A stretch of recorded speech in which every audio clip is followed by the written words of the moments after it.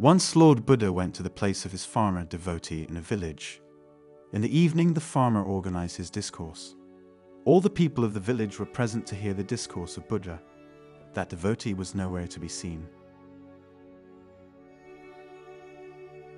There was a whisper among the people of the village that what a devotee is that he himself disappeared after organizing the discourse. After the discourse was over, everyone went home. The farmer returned home in the night. Buddha asked, Where had you gone? Everyone in the village was asking about you.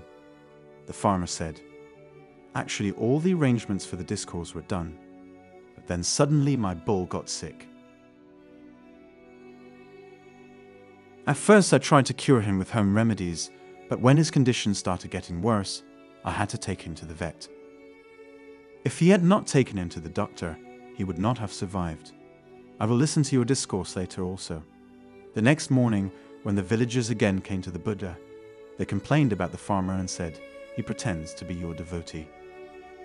By organizing the discourse, it disappears by itself. Buddha narrated the whole incident to him and then explained he gave importance to action instead of listening to the discourse and proved that he understood my teachings perfectly. He no longer needs my discourse.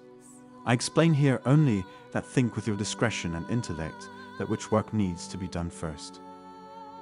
If the farmer had preferred to listen to my discourses, leaving the sick bull, then the bull would have died without medicine. After that, my discourse would have been in vain.